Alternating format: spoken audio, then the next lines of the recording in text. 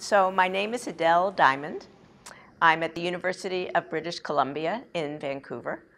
I'm a Canada Research Chair and Professor of Developmental Cognitive Neuroscience. So my specialty are executive functions and the prefrontal cortex of the brain on which they depend. Prefrontal cortex and the interrelated brain areas are what subserve executive functions. Executive functions are things like self-control, selective attention, working memory, cognitive flexibility, problem solving, planning, reasoning. And I look at what biological things affect them, like hormones or neurochemistry, and what environmental things affect them, like poverty or interventions. And what I'm concerned about is to how, how to help kids thrive. And I think one of the ways is to help them have healthy executive functions. Well, I love to dance. And um, I was part of a dance troupe that toured the Soviet Union in 1990 and led a dance troupe that toured Czechoslovakia in 1992, which both says that I love dance and that it may not be so good to have me come to your country as a dancer, because both countries ceased to exist very shortly after I had toured there. Um, but looking at the benefits of dance and music for executive functions is the first time that I've been able to put the two main parts of my life together. My research hat, my academic hat, and my dancer hat. So one of the reasons I'm really interested is because it puts the different parts of me together.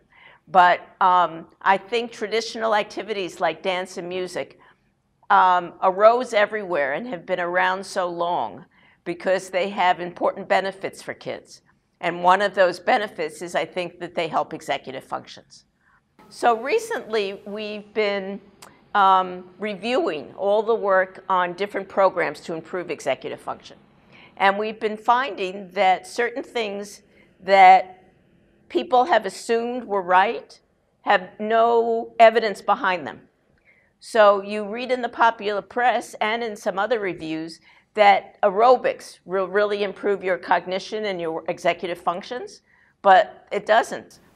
Um, and um, the computerized cognitive training like Working Med, uh, CogMed or Luminosity, there's very little evidence that they have any lasting benefits. They improve what, you, what they train you on, but just on the narrow thing you trained on, and then that disappears after a year or two.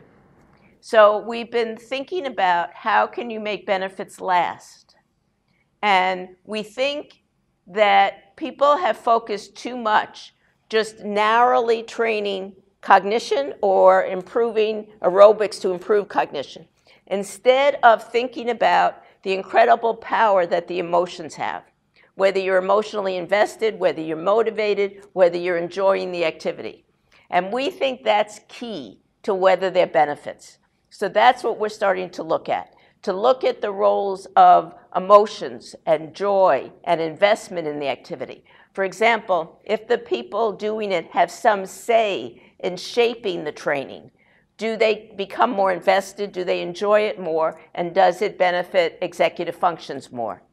Um, and another thing that's gotten almost no attention is how to make benefits last. We all have known that the benefits last sometimes just a week, sometimes a month, sometimes a year, occasionally two years, but never more than that. But nobody has looked at what would help them last longer. Like I'm really interested in the preschool programs, like um, High Scope or Tools of the Mind or kindergarten programs. Now we know that if your school experiences after that are very antithetical to the way you, it was in preschool or kindergarten, those benefits can't possibly sustain in the face of being assaulted all the time. So what would be the best way to help them last? What do we need to help teachers in later grades do? What kind of booster sessions or reunions might help? And, and that's really important and it hasn't received attention and I, I want to look at that.